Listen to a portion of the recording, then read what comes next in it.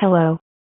I'm using text to speech since God hates me and I my mic is broken, but don't worry, I'm making more VR, chat videos in the future.